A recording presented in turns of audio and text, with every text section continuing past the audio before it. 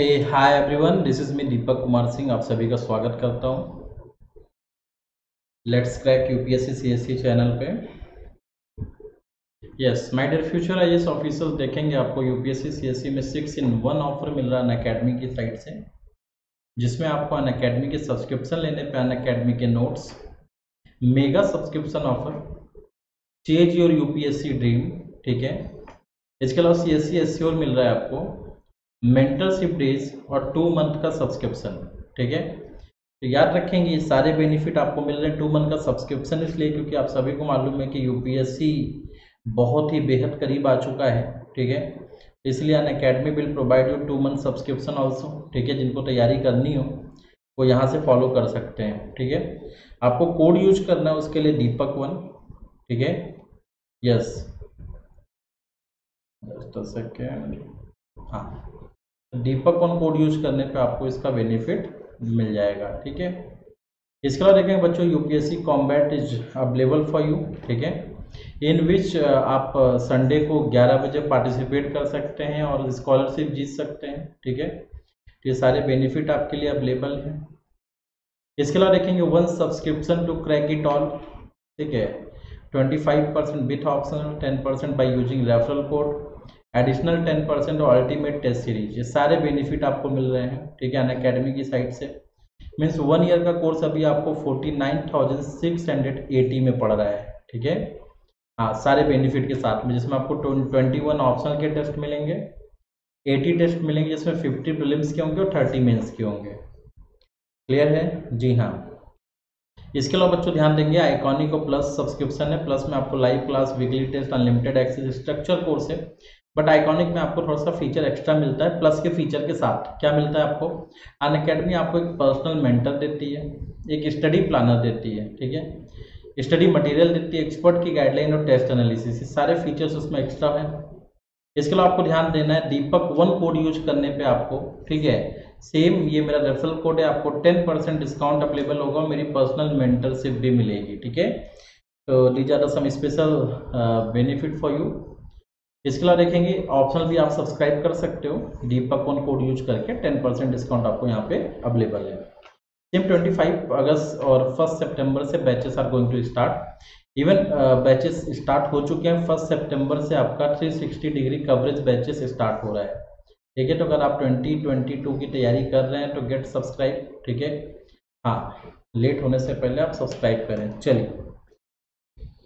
तो एक बार बता दें वॉइस वगैरह क्लियर है तो हम लोग कैरी ऑन करें, ठीक है? जी good morning good morning everyone how are you all good जी हाँ हैप्पी जन्माष्टमी आप सभी को। चलिए बच्चों, देखेंगे कल का जो लेक्चर था, आप सभी को शायद पता होगा ब्रिटेन वुड कॉन्फ्रेंस पे था जो कि कल नहीं हुआ, परसों था सॉरी इसलिए नहीं हुआ क्योंकि ब्रिटेन वुड कॉन्फ्रेंस में मैं पढ़ाता ही गया, वो गलती से वो टाइटल पड़ गया था। एक्चुअली लेक्चर तो जीएटीटी का था। ब्रिटेन वुड कॉन्फ्रेंस से तो बहुत से ऑर्गेनाइजेशन निकले हैं। वो इम्पोर्टेंट है, ना कि ब्रिटेन वुड कॉन्फ्रेंस तो डेट्स वाई मैंने कहा कि ब्रिटेन वुड कॉन्फ्रेंस पाँच मिनट का एक टॉपिक है, वो तो मैं इसी में पढ़ा दूँगा। ठीक है, फिर G A T T carry on करूँगा। क्लियर है? हाँ तो चलिए देख, देखते हैं बच्चों, यहाँ पे सबसे पहले ब्रिटेन वुड कॉन्फ्रेंस क्या है? ठीक है? अगर मैं बोलूँ इसको united nations monetary and financial conference तो बिल्कुल भी आपको चौंकने वाली बात नहीं होनी चाहिए। ब्रिटेन वुड कॉन्फ्रेंस बस जगह के नाम की कारण पड़ गया, ठीक है, जो न्यू हेम्पसायर में है। लेकिन रियलिटी में अगर आप देखेंगे तो इसका मतलब यही था united nations monetary and financial conference ठीक है? देखेंगे बच्चों। अगर आप लोग की परमिशन हो तो मैं थोड़ा सा बैक में हिस्ट्री में जाके थोड़ा सा पाँच मिनट की हिस्ट्री लेकर आऊँ। थोड़ा सा आपको लगेगा, मैं हिस्ट्री भी पढ़ाता हूँ, उस हिसाब से इकोनॉमी में अगर कोई ऐसा टॉपिक आता है तो मेरा बहुत मन होता है कि मैं आपको उसको हिस्ट्री से कोरिलेट करके पढ़ाऊँ, ठीक है? तो जैसे आप देखेंगे यहाँ पे खासकर 1750 ठीक है? इंडस्ट्रियल रेवोल्यूशन स्टार्ट हुआ था। क्लियर है? हाँ। बच्चों इंडस्ट्रियल रेवोल्यूशन जब स्टार्ट हुआ तो इंग्लैंड जो है यूके ठीक है? इसको बहुत ज़्यादा प्रॉफिट होने लगा।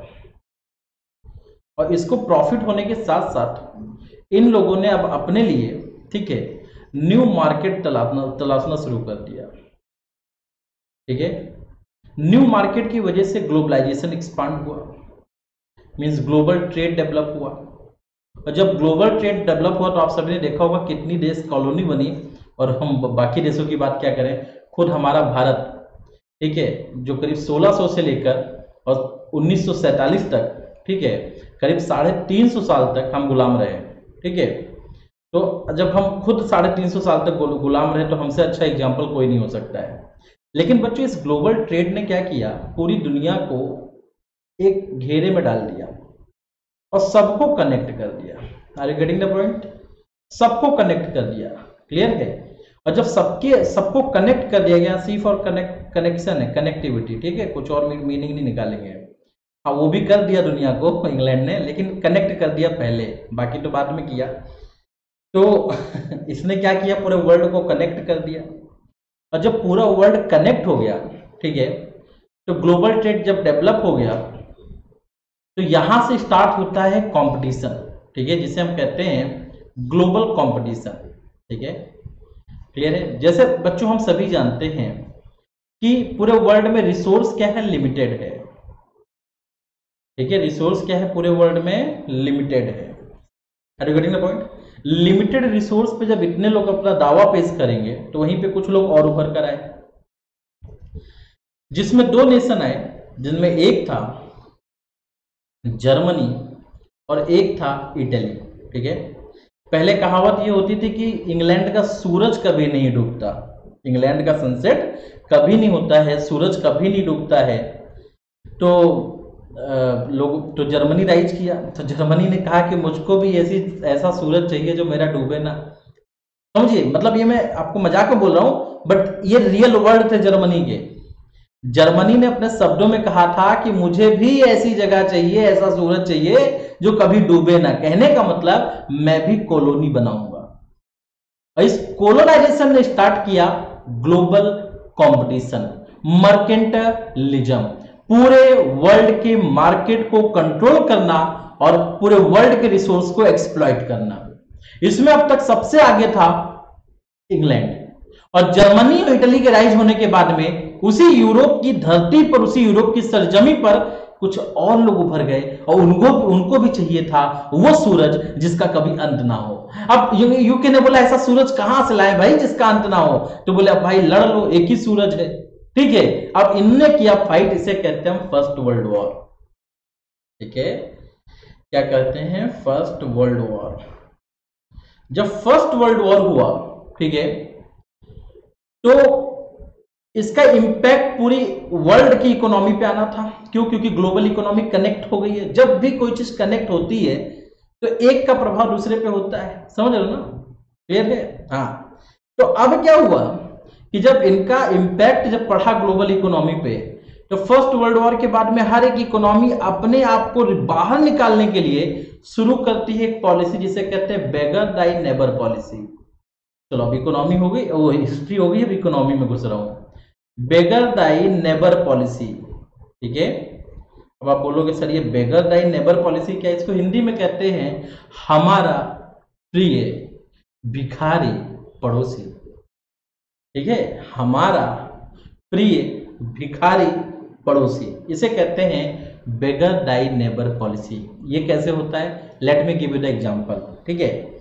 मैं आपको एग्जांपल देता हूँ। जैसे मान लीजिए कि ये हमारा प्यारा भारत है।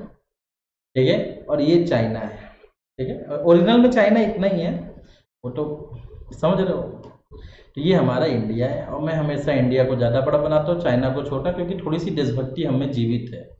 क्योंकि इकोनॉमी के साथ साथ हम इतिहास भी पढ़ाते हैं बच्चों, ठीक है? हाँ तो हुआ क्या?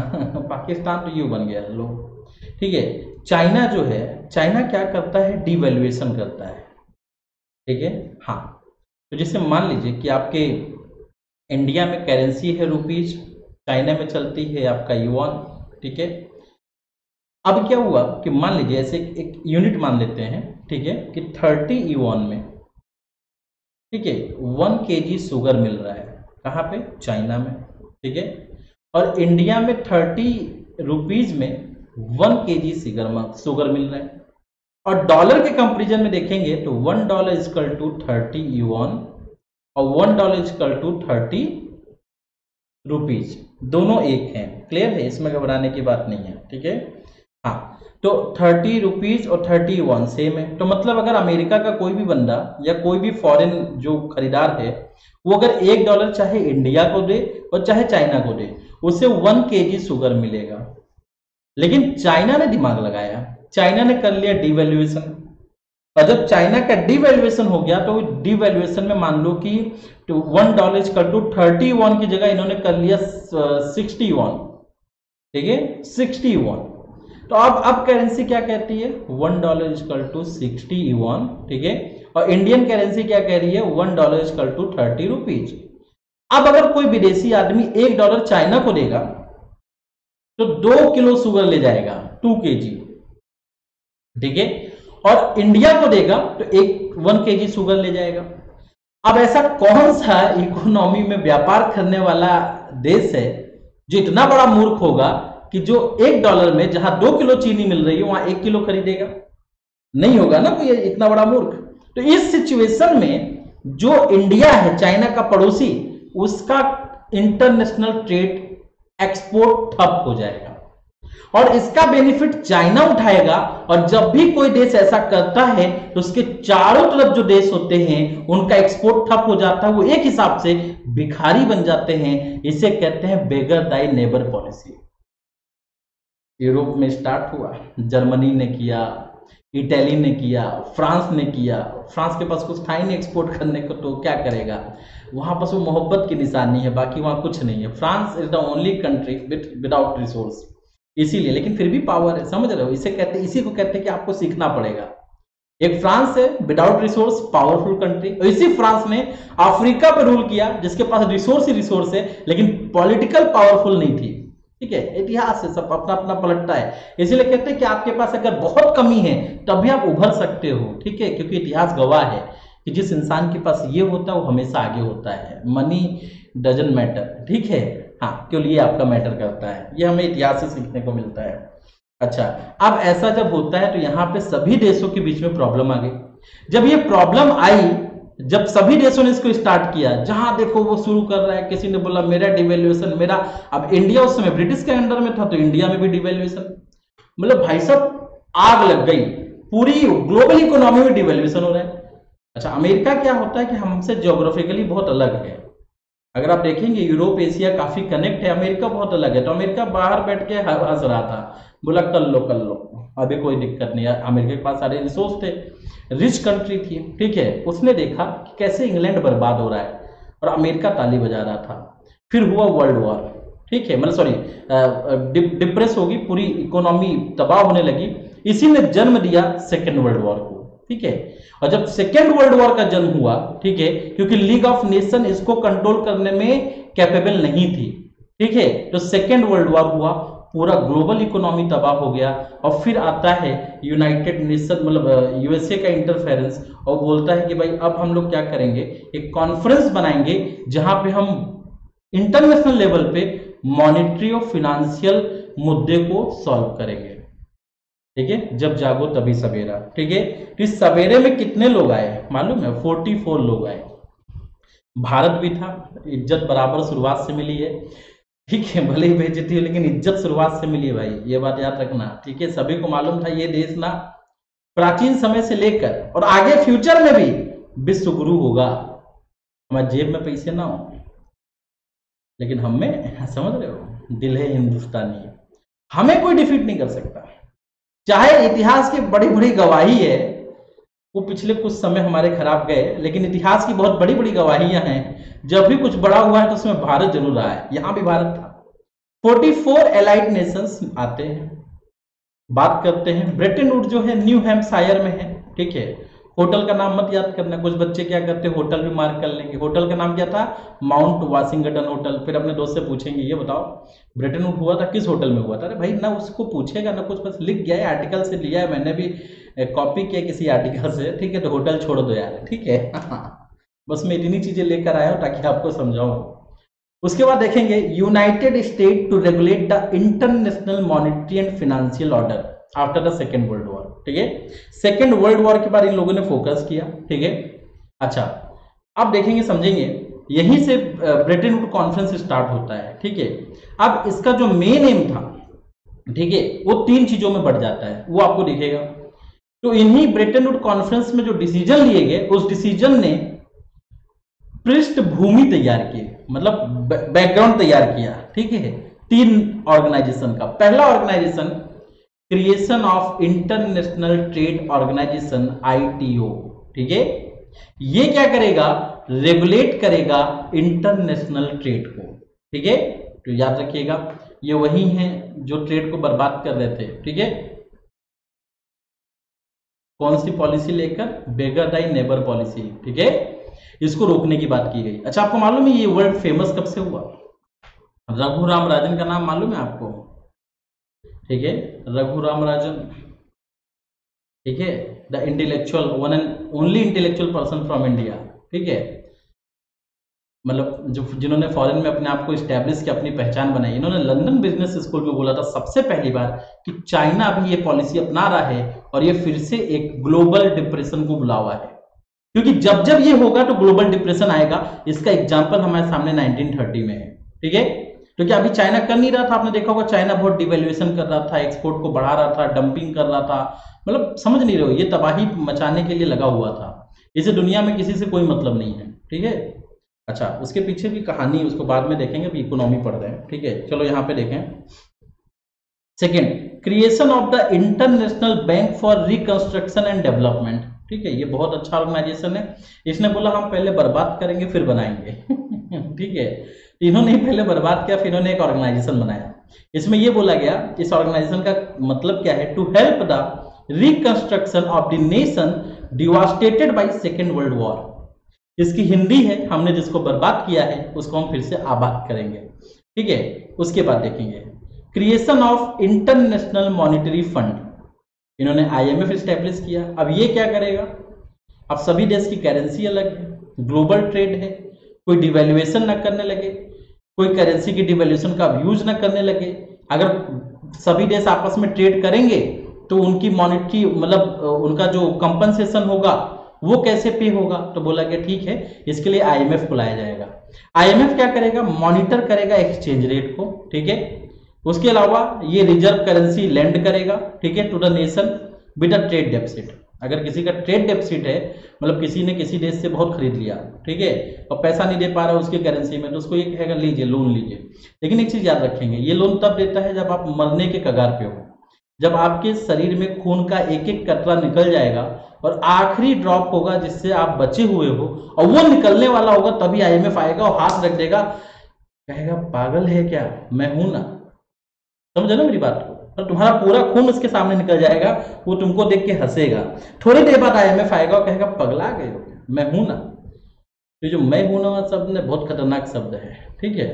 और ये आईएमएफ कहता है, तब जब इंसान मरने के कगार पे होता है। इसे आप लोग अपनी टेक्निकल भाषा में बोलते हो बेल आउट पढ़ा ना? बेल आउट इसे ही कहते हैं। आगे हम लोग देखेंगे एक एक करके। तो चलिए, देखेंगे। तो ये दोनों ऑर्गेनाइजेशन हमारे दो दिन के बाद की क्लास में है। अभी आज की क्लास में हम शुरुआत करेंगे ट्रेड से, ठीक है? क्योंकि बेसिक समझ लेंगे तो इनका मतलब पता चलेगा, ठीक है? तो सबसे पहले हम लोग ट्रेड समझेंगे और फिर कल डब्ल्यू के सारे एग्रीमेंट पढ़ेंगे। कल की क्लास ज़्यादा इंपॉर्टेंट है क्योंकि कल मैं डब्ल्यू के सारे एग्रीमेंट कराने वाला हूँ, एक साथ, ठीक है? जितने भी इंपॉर्टेंट एग्रीमेंट है, जो इस बार प्रीलिम्स में आ सकते हैं, जिनमें चेंज हुआ है अपडेट हुआ है, सब कराऊँगा, ठीक है? हाँ चलिए तो थोड़ा आगे बढ़ते हैं, ठीक है? General agreement on tariff and trade. जैसे कि आपको इसमें दो वर्ड मिल रहे हैं, टैरिफ, और दूसरा वर्ड मिल रहा है ट्रेड। तो मैं आपको पहले शुरुआत में बता दूँ, आप हँसी हँसी में ये क्लास लीजिएगा। बहुत ज़्यादा जो जितने फैक्ट होंगे मैं हँसी हँसी में करा दूँगा, ठीक है? बहुत ज़्यादा रटने की ज़रूरत नहीं है। सिंघम मत बन जाना इस चैप्टर में। सिंघम कल वाले में बनना। आज वाले में तो बस इंजॉय के साथ पढ़ो। टैरिफ और ट्रेड। दो वर्ड आपको समझ में आ रहा है एक ट्रेड होता है, जिसमें लोग कहते हैं कि भैया ये लो गुड्स, वो दो सामान, पैसे। ठीक है, इसे कहते हैं ट्रेड लेकिन कहीं कहीं पे ट्रेड होता है तो लोग रिस्ट्रिक्शन लगाते हैं. रेस्ट्रिक्शन मतलब कई देश अपनी बाउंड्री पे बोलता है कि तुम्हारा ये गुड्स हमारे यहाँ आएगा तो हम इस पर बीस रुपये एक्स्ट्रा टैक्स लगाएँगे. ठीक है तो ऐसे करके लोग फॉरेन के गुड्स को अपने यहाँ रोकते थे. इससे क्या ग्लोबल इन्वायरमेंट खराब होगा? जैसे मान लीजिए कि ब्रिटेन वुड कॉन्फ्रेंस में बड़ी बड़ी बातें हुई कि भी प्रमोट इंटरनेशनल ट्रेड ठीक है, बोले बहुत अच्छी बात है. लेकिन सभी देशों ने क्या किया? अपना दरवाज़ा बंद कर लिया। और जब बाहर से कोई गुड्स आए तो उसने बोला नॉक नॉक नॉक नॉक तो देशों ने बोला हम ना तुम पे टैक्स लगाएँगे। ठीक है बहुत ज़्यादा टैक्स लगाएँगे। इन्होंने टैक्स बहुत बड़े लेवल पे लगाना शुरू किया। अच्छा तो गवर्नमेंट ने बोला कि मतलब सॉरी आपका आ, क्या कहते हैं ब्रिटेन कॉन्फ्रेंस में डिसीज़न लिया गया कि हम सबसे पहले दो चीज़ों पर फोकस करेंगे इंटरनेशनल ट्रेड की ग्रोथ और टैरिफ को रेगुलेट करेंगे। ताकि इसका कोई भी निगेटिव इंपैक्ट किसी भी मेंबर कंट्रीज़ पे ना पड़ पाए। तो बोले, ठीक है, बहुत अच्छी बात है, आप देखेंगे। इसमें सबसे पहला फोकस जो हुआ, ठीक है बेगर दाई नेबर पॉलिसी को कंट्रोल किया गया। ठीक है? क्लियर है? जिसकी वजह से ग्रेट डिप्रेशन आया था 1930 में, ठीक है? इसको सबसे पहले कंट्रोल किया गया। उसके बाद फिर उसी की वजह से वर्ल्ड वॉर भी आया था, ठीक है? इकोनॉमिक की डेफिनेशन में वर्ल्ड वॉर इसी वजह से आया था। ठीक है बाकी इतिहास में जाओगे तो बहुत सारे रीजन थे। मेन रीजन ये था ठीक है अच्छा देखेंगे। वर्ल्ड वॉर टू इसकी वजह से हुआ था, ठीक है, और that was led to the need of the system of the regulation और जिसकी वजह से एक ज़रूरत पड़ी थी कि एक ऐसा रेगुलेशन होना चाहिए, जो पोस्ट वॉर रिकंस्ट्रक्शन में इकोनॉमिक स्टेबिलिटी और पीस को स्टेब्लिश कर पाए। और इसी की चाहत ने general agreement tariff on trade को स्टैब्लिश किया। ये एक मल्टीलेटरल कॉन्ट्रैक्ट है मार्क कर लेंगे मल्टीलेटरल कॉन्ट्रैक्ट है। To liberalise the trade restriction जो ट्रेड रिस्ट्रिक्शन को लिबरलाइज करता है टैरिफ को कम करता है, कुछ टैरिफ को हटाता है, यहीं से कुछ आएँगे European union custom union economic common market ये सब आज मैं अभी देख, बताने वाला हूँ, ठीक है? नेक्स्ट देखेंगे। जो general agreement on tariff and trade है that was initially signed by 23 countries अब ये कैसे शुरुआत हुई मैं आपको बताता हूँ। जो मेंबर नेशन थे वो 44 थे। अच्छा 44 ने डिसीज़न लिया कि हम लोग ट्रेड को स्टैब्लिश करेंगे। लेकिन 44 में 15 जो थे ना, उनको पता चल गया था कि भाई साहब अपनी लगने वाली है। क्यों? क्योंकि ये सब बड़े जो नेशन थे, इनको कोई प्रॉब्लम नहीं होगा। ओपन इकोनॉमिक रेगुलेशन क्योंकि आप अगर रेगुलेशन नहीं बनाओगे तो प्रॉब्लम आएगी ना। आप सुपीरियर हो, आप सुपर पावरफुल हो, एक बार फिर से एक्सप्लोटेशन स्टार्ट होगा। तो सबसे पहले पंद्रह देश एक साथ आए। बोले, नहीं नहीं, ऐसे कैसे चलता है? आपने बोल दिया तो थोड़ी ना, आपने इसके लिए कुछ बना दो। समझ लो ऐसे हुआ। मैं आपको बिल्कुल रियलिटी बता रहा हूँ कि लोग मीटिंग से आ गए देन अगेन डिसाइडेड पंद्रह नेशन एक साथ आए। ये पंद्रह लोग एक जगह शाम को इकट्ठा हुए, सब कॉफ़ी और चाय पे। बाकी चीज़ भी होगी, ठीक है? लेकिन मुझे तो कॉफ़ी चाय पता है। ये लोग इकट्ठा हुए और इन लोगों ने बोला कि देखो, ऐसे कैसे चलता है? अगर ये बड़े बड़े देश हैं, अगर ये कानून नहीं बनाएँगे, केवल बातें बातें करेंगे तो कल को हमारा फिर से एक्सप्लॉटेशन होगा। फिर से हमारे रिसोर्स का एक्सप्लाटेशन होगा। एक काम करते हैं, इनसे बोलते हैं कि सब स्टैब्लिश करो। ठीक है? तो बोले, ठीक है, चलो स्टैब्लिश करते हैं। ठीक है? अब स्टैब्लिश करने के लिए, ठीक है? क्लियर है? हाँ। अब देखेंगे, समझेंगे। The important thing is that ठीक है ये लोग इकट्ठा हुए इन्होंने बोला, नहीं, ऐसे कैसे चलता है? मतलब आप आप जो मन अपने हिसाब से कर देंगे। तो वहाँ पे कुछ और थे। कितने थे? आठ लोग और थे। आठ देश और थे, जैसे इन लोगों ने गिड़गिड़ाना शुरू किया, आठ देश और आए। बोले हाँ ऐसे थोड़ी ना चलता है। देखिए, अब ये हो गए तेईस। शुरुआत पंद्रह ने की, बाद में आठ और आ गए ये हुए टोटल तेईस। अब चौवालीस में तेईस एक ही गाना गा रहे हैं। क्या? देखिए, ये गाना गा रहे हैं कि एक एग्रीमेंट किया जाए, ठीक है, जिसमें बेसिक रूल ठीक है वर्ल्ड ट्रेडिंग सिस्टम के डिफाइन हो, ठीक है, और जिसको समय समय पे पीरियोडिकली ठीक है मल्टी ईयर राउंड या नेगोशिएशंस में सॉल्व किया जाए। तो बोले, बहुत अच्छी बात है। ठीक है, बढ़िया है, अब तुम इतने हो गए हो तो हम क्या कर सकते हैं? ठीक है, तुम तेईस हो गए हो, हम कम बचे हैं तो क्या कर सकते हैं? चलो मान लेते हैं। अब क्या हुआ?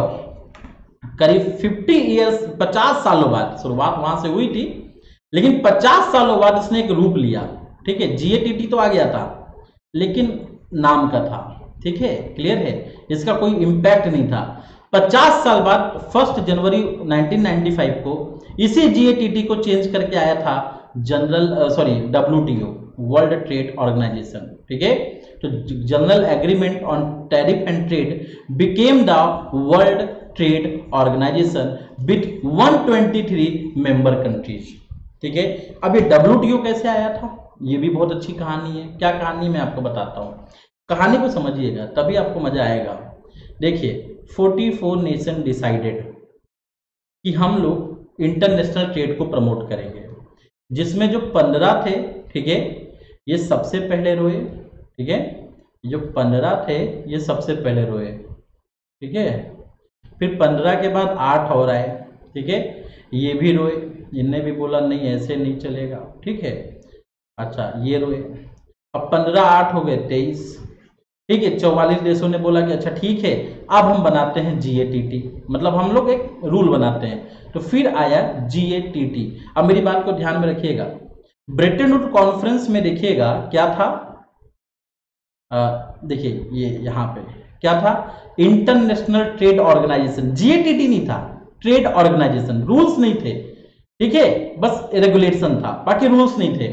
इन्होंने बोला जीएटीटी बनाओ। जीएटीटी बन गया बच्चों। ठीक है? क्लियर है? हाँ। समझ रहे हैं? तो ये भी एक इंपॉर्टेंट है। तो जीएटीटी आया बच्चों, और सब कुछ डिसीज़न हो गया। लेकिन जो डेवलप नेशन थे, ये बहुत चालाक थे। बोला, आज नहीं तो कल बदला लेंगे। ये काफ़ी नाराज़ हो गए। ठीक है, ये डेवलप नेशन है। इन्होंने बोला, आज नहीं तो कल बदला लेंगे। और इन्होंने बदला ले लिया। उन्नीस सौ पंचानवे, वो समय था इसकी चार साल पहले जब इंडिया बहुत परेशान था, और जब इंडिया बहुत परेशान था तो इंडिया ने यहाँ पे डिसीज़न लिया कि हम आईएमएफ से लोन लेंगे। 1990s की बात है। तो आईएमएफ ने बोला, तुम दरवाज़ा खोलो, हम तुमको पैसे देते हैं। तो हमने दरवाजे खोल दिए एलपीजी आ गया आईएमएफ ने हमें पैसे दे दिए। पैसे दे दिए, फिर हमें ज़रूरत पड़ी। ठीक है? तो आईएमएफ ने बोला कि काम करो मतलब डेवलप नेशन ने बोला कि हम सब तुमको सपोर्ट करेंगे ग्लोबल ट्रेड में। ठीक है, तुम एक काम करो, एक एग्रीमेंट पे साइन कर दो। तो बोले, कौन सा एग्रीमेंट तो बोला, ये लो। वो एग्रीमेंट था डब्ल्यू का। इंडिया ने पढ़ा इंडिया ने बोला, नहीं, हम नहीं करेंगे।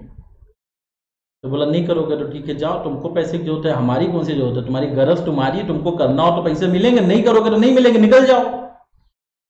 भारत के पास में ऑप्शन नहीं था। तो इंडिया ने साइन कर दिया। लेकिन एक तरफ़ यह भी घबराने वाली बात थी कि आखिर इंडिया ही क्यों? तो मैं बताऊँ, एक बहुत अच्छा ऑर्गेनाइजेशन बनाया गया था नेहरू जी के टाइम में, जिसे हम कहते हैं नॉन अलाइनमेंट मूवमेंट ठीक है? इसमें एशिया और अफ्रीका के नेशन जो हैं, ये भारत को विश्वगुरु मानते थे। और इंडिया एक्ट लाइक द विश्वगुरु। सीना तान के चलता था, बोला है विश्वगुरु, ठीक है? तो समझ रहे हो? तो इंडिया एक्ट लाइक द विश्व गुरु तो इंडिया से साइन कराया गया ताकि एशिया और अफ्रीका के बाकी नेशन को लगे कि इंडिया बेनिफिट उठा रहा है, हमें भी उठाना चाहिए। और जैसे इंडिया ने साइन किया, ठीक है? जैसे इंडिया ने साइन किया क्लियर है? क्लियर है? उसके बाद फिर तुरंत सारे लेटर जितने भी डेवलपिंग नेशन थे एशिया अफ्रीका के सबको बांट दिए गए। अंडर डेवलप उनके पास भी चले गए। इंडिया को पता चला कि जो हमसे एग्रीमेंट साइन कराया गया हमारे नाम पे हमारे बाकी साथियों से साइन कराया जा रहा है। इंडिया ने फ़ोन मिलाया। इंडिया ने बोला देखो मत करना साइन तो बाकी देश क्या कह रहे हैं? हाँ, अकेले अकेले। हाँ, मतलब तुम ही। ठीक है। मतलब तुम तुम तुम अकेले मतलब हा? हम नहीं साइन करें। तो बोले हाँ मत साइन करना। बोले हाँ ऐसे कैसे? तुम अकेले अकेले मज़ा लोगे? नहीं भैया ऐसा तो नहीं चलेगा। हम भी भाई साहब बेनिफिट उठाएँगे जो भी नया कुछ आ रहा है।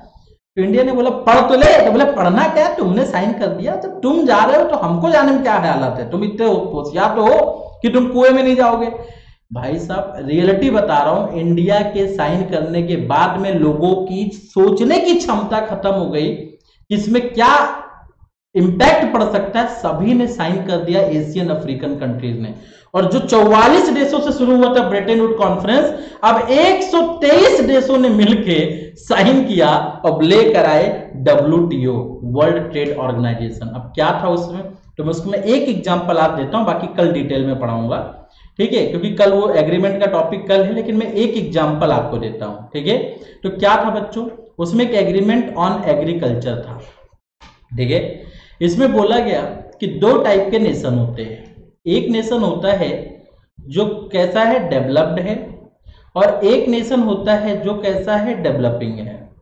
क्लियर है? जो डेवलप्ड नेशन है, ठीक है, वो अपनी टोटल जीडीपी का, मान लीजिए उनकी जीडीपी ये है, ठीक है? जीडी में, जीडीपी में तीन चीज़ के पार्ट होते हैं। एक होता है एग्रीकल्चर, ठीक है, एक होता है इंडस्ट्री, और एक होता है सर्विस सेक्टर। ठीक है? मतलब primary sector secondary sector tertiary sector बोला कि डेवलप्ड नेशन अपने प्राइमरी सेक्टर का मतलब जितनी उसकी एग्रीकल्चर जीडीपी है एग्रीकल्चर जीडीपी है, उसका फाइव परसेंट सब्सिडी देगा। बोले ठीक है? और जो डेवलपिंग नेशन है, उनकी जो एग्रीकल्चर जीडीपी है, उसका ये टेन परसेंट देंगे। अब दुनिया को मालूम है कि जितना डेवलप्ड नेशन का एग्रीकल्चर जीडीपी होता है, उससे कम हमारा होता है क्या? जीडीपी। हमारी जीडीपी इतनी है। अब जीडीपी में भी एग्रीकल्चर हमारा यो रहा। और उसमें भी कितने परसेंट? Ten percent. तो इनकी एग्रीकल्चर जीडीपी मानो सौ रुपए थी कि इन्होंने पाँच रुपए दिया। क्या? समझ रहे हो? अपने आप पे सब्सिडी। और हमारी तो जीडीपी, जो एग्रीकल्चर जीडीपी है, वो बेचारी पाँच रुपए थी। उस पाँच रुपए का हमने दस परसेंट देकर क्या कर लिया? पचास पैसे हमने दिए। अपने यहाँ सब्सिडी ये लोगों ने पकड़ा नहीं। और ये बड़े देशों ने घेरा। और घेरने के बाद बोला, ठीक है? फिर है, बोला कि चलो, इससे अच्छा क्या होता है?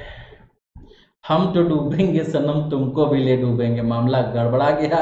सब डूब गया मामला और यहीं पे बिखर के सब खत्म हो गया। बच्चों, इसी को कहते हैं डब्ल्यू और जीएटीटी कल देखेंगे डिटेल में बाकी एग्रीमेंट की कहाँ कहाँ इंडिया के बासमती को, ठीक है?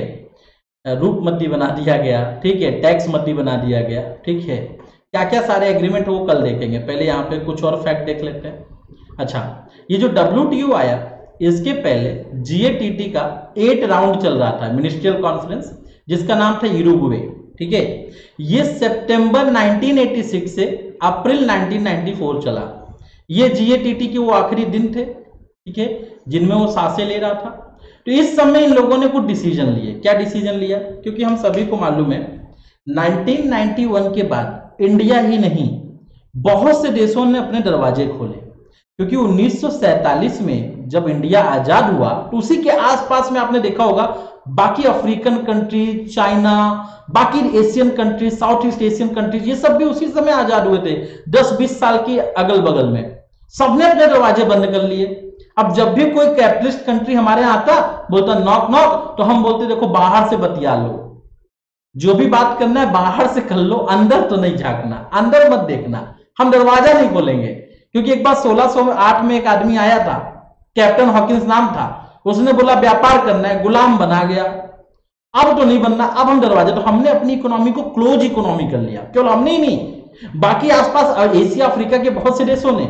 लेकिन जैसे इंडिया ने साइन किया, बाकी सबने तो ओपन इकोनॉमी हो गई 1991 में, जब एलपीजी आया।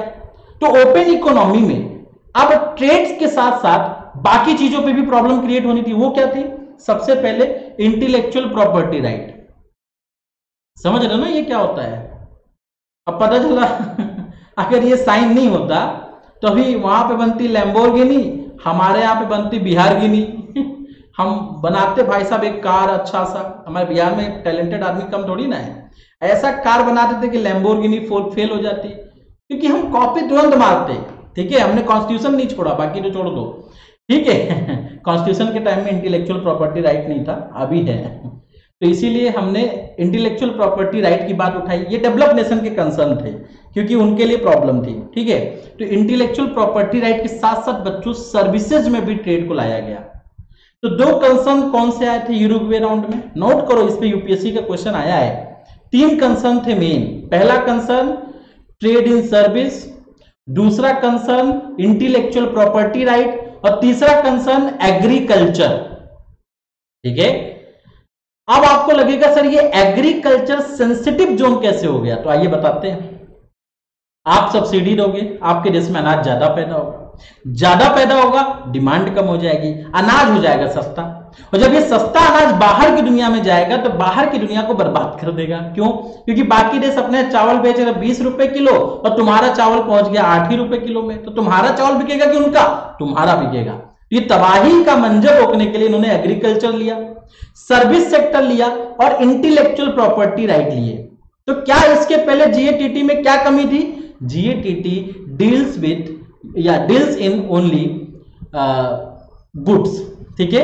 ना वो सर्विस में डील करता था, ना इंटेलेक्चुअल प्रॉपर्टी राइट ना एग्रीकल्चर ठीक है? वो केवल एक ही जगह डील करता था। क्लियर हुआ? हाँ। अच्छा उसके अलावा देखेंगे। There was also the agenda for the creation of new institution ठीक है, नए इंस्टीट्यूशन डेवलप हुए। To streamline the dispute settlement system और ट्रेड पॉलिसी रिव्यू मैकेनिज्म तो देखिए बच्चों में फिर से यहाँ पे फैक्ट अलग से लिख रहा हूँ। सर्विसेज़ आया इंटेलेक्चुअल प्रॉपर्टी राइट आया, ठीक है। उसको भी लेकर मैं बता रहा हूँ कि उसके साथ भी धोखा हुआ है, वो मैं कल के एग्रीमेंट बताऊँगा। इसलिए कल की क्लास मिस मत करना, ठीक, साढ़े ग्यारह बजे।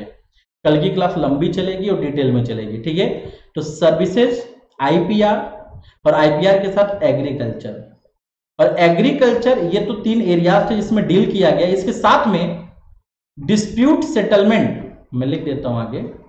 डिस्प्यूट सेटलमेंट सिस्टम स्टैब्लिश किया गया और ट्रेड पॉलिसी रिव्यू तो जो भी नई चीज़ें आई ना, ये सभी चीज़ें जीएटीटी में नहीं थी। तो जब इनकी डिमांड हुई तो लोगों ने बोला, जब इतनी कमी है ससुरे जी जीएटीटी में, ठीक है, हटाओ उसको। नया कुछ लाओ तो फिर लोग डिसीज़न लिए। एक सौ मतलब ये 1994 में डिसीज़न हुआ, लेकिन 123 देशों ने मराकेश मोरक्को में, ठीक है पार्टिसिपेट किया और ये सारी चीज़ें उभर कर आई और इन पे साइन हुए। ठीक है? तो देखेंगे पहला क्या साइन हुआ, ठीक है? देखेंगे। पहला agreement establishing the WTO WTO agreement sign हुआ, ठीक है? डब्ल्यूटीओ आएगा। Updated general agreement on tariff and trade G A T T को अपडेट किया जाएगा और उसी को बदल के क्या क्या किया जाएगा? मतलब डब्ल्यूटीओ के अंडर में रहेगा, लेकिन अपडेटेड होगा। अब ऑर्गेनाइजेशन दूसरी होगी, ठीक है? General agreement under trade in services जिसमें इंडिया काफ़ी डिमांड कर रहा है, लेकिन बाकी देश हमारे साथ धोखा कर रहे कैसे? कल बताऊँगा। Trade related aspect intellectual property right ठीक है? हाँ तो ये भी एक बहुत इंपॉर्टेंट है क्लियर है? ट्रेड पॉलिसी रिव्यू मैकेनिज्म, ठीक है? और डिस्प्यूट सेटलमेंट और एग्रीमेंट ऑन एग्रीकल्चर। इन सब पे साइन हुआ और सबकी ऑर्गेनाइजेशन को बना दिया गया डब्ल्यू तो देखो यहाँ पे डब्ल्यू किसके अंडर में था? Developed nation. लेकिन भाई साहब, ट्रंप आए थे, अभी चले गए। ठीक है ट्रंप ने ऐसा झटका दिया डब्ल्यू को कि डब्ल्यू गिड़गिड़ा के आया कि तुम ही हमारे मालिक हो। हमारी इज़्ज़त मिली थी पंचानबे में, उन्नीस सौ पंचानबे में जब तुम्हारा साइन हुआ था। अभी तुम ही हमको बचा सकते हो। तो याद रखना डब्ल्यूटीओ वेंटिलेटर पे है। डब्ल्यू नीड ऑक्सीजन और इंडियन गवर्नमेंट उसको ऑक्सीजन दे रहा है। ठीक है? समझ रहे हो? तो भारत इतना अच्छा है। जिसने 20-25 साल पहले हमारे साथ गलत किया था 25 साल पहले। आज हम उसी को ऑक्सीजन दे रहे हैं वेंटिलेटर पे रखे हुए हैं और जिनके लिए उसने हमें धोखा दिया था, वो सभी ऑर्गेनाइजेशन आज उसको छोड़ चुके हैं। समझ रहे हो? हाँ। नेक्स्ट देखेंगे। ठीक है। All these agreement were negotiated during the European round ठीक है? याद रखेंगे। नेगोशिएट वहाँ पे हुआ, लेकिन इफ़ेक्ट में कब आया?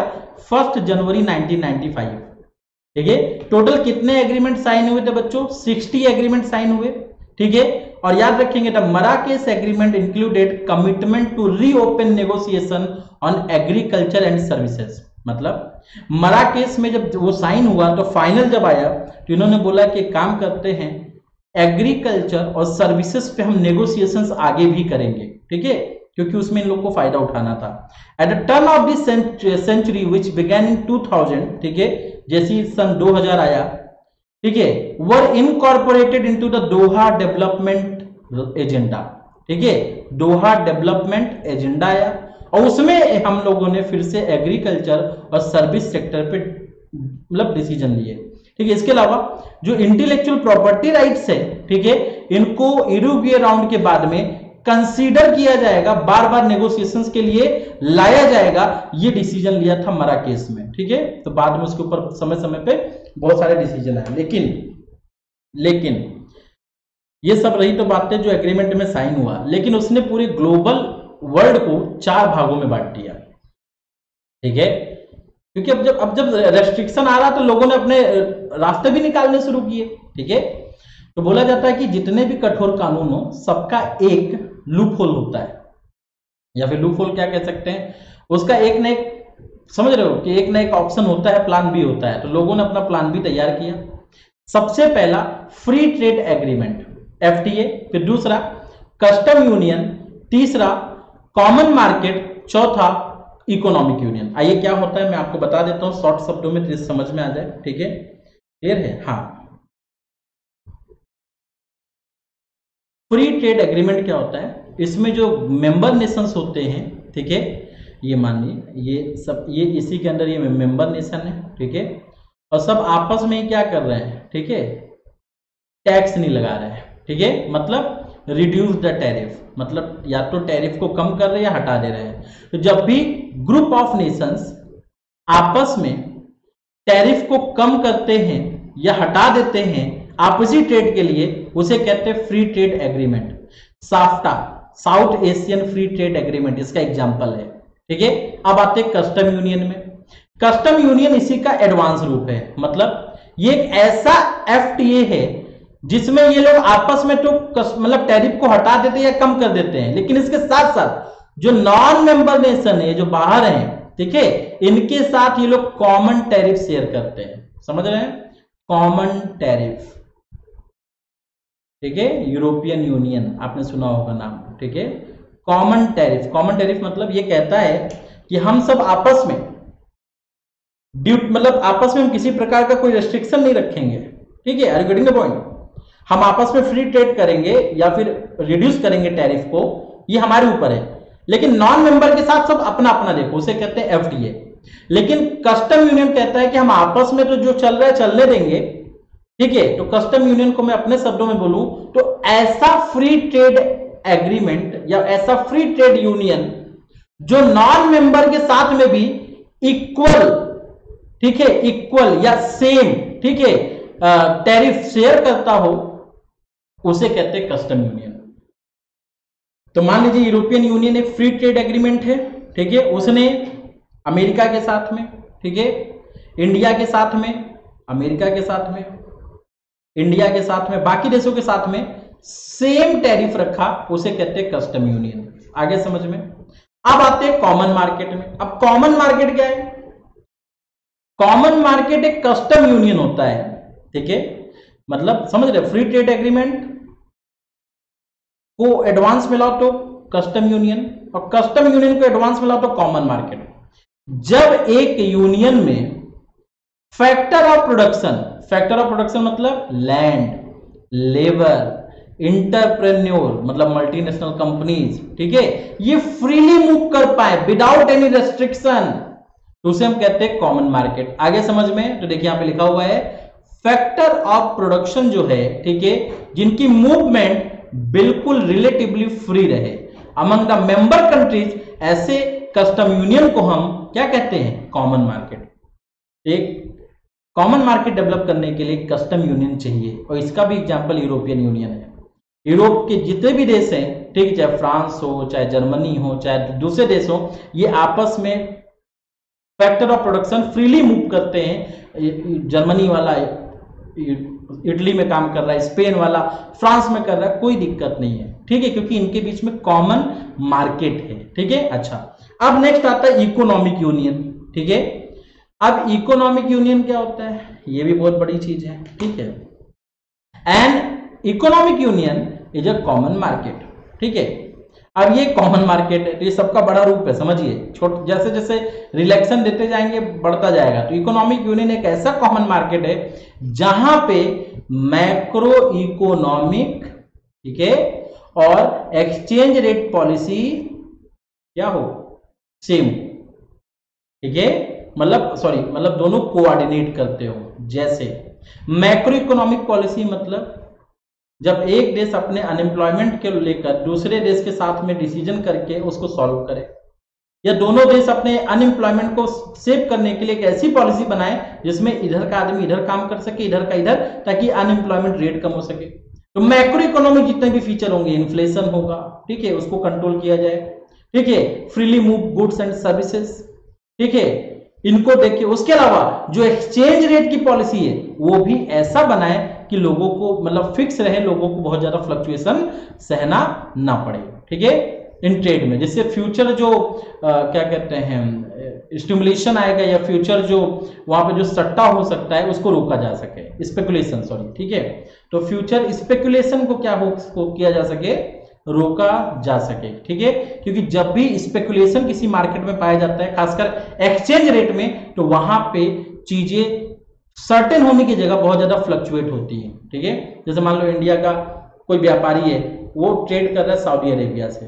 लेकिन हमारी उनकी करेंसी में बहुत फ्लक्चुएशन है तो वहाँ पे ट्रेड लंबा नहीं चलेगा लॉस में जाएगा, ठीक है? तो सेम सिचुएशन क्रिएट होती है तो फिर इसी को हम क्या कहते हैं? इकोनॉमिक यूनियन तो I hope you are getting that point ठीक है? हाँ। ग्रीस वाला इशू हुआ था, वो बाहर निकला था यूके भी अभी निकल गया यूनाइटेड किंगडम ठीक है, आप सभी को मालूम होगा, क्योंकि उनको भी इकोनॉमिकली बहुत ज़्यादा लॉस हो रहा था। अच्छा यूरोप में जर्मनी सुपीरियर है, और बाकी जो देश है, उनके पास ज़्यादा रिसोर्स है नहीं तो सब घूम फिर के एक ही पे डिपेंड है, और इसीलिए वहाँ पे बाकी बॉन्ड जो है बॉन्डिंग वो टूटती नहीं है। बहुत गहरा, गहरी मोहब्बत है, ठीक है? तो आज के लिए इतना ही। कल मैं बताऊँगा डब्ल्यूटीओ के सारे इंपॉर्टेंट पॉइंट ठीक है? तो इंडियन इकोनॉमी इंडियन हिस्ट्री में अगर आपको ओवर कॉन्फिडेंस है तो मेरे साथ एमसीक्यू की सीरीज़ लेंगे, ठीक है? जो कि होगी आपके नाइन्थ और फोर्टीन सेप्टेम्बर को सुबह साढ़े ग्यारह बजे तीन तीन घंटे की क्लास होगी, ठीक है? यूट्यूब पे होगी। मुझे अन अकेडमी ऐप पे फॉलो करें बच्चों। यहाँ पे मैं आपको जितने भी टॉपिक हैं, ठीक है? इंपॉर्टेंट उनके एमसीक्यू कराता हूँ। आज तीन टेस्ट हैं। ठीक है? एक तीन बजे है, एक पाँच बजे है और एक सात बजे है। ठीक है तो इनको ज्वाइन करेंगे। इसके अलावा बच्चों याद रखेंगे। That's it thank you so much for watching the session bye bye take care have a good day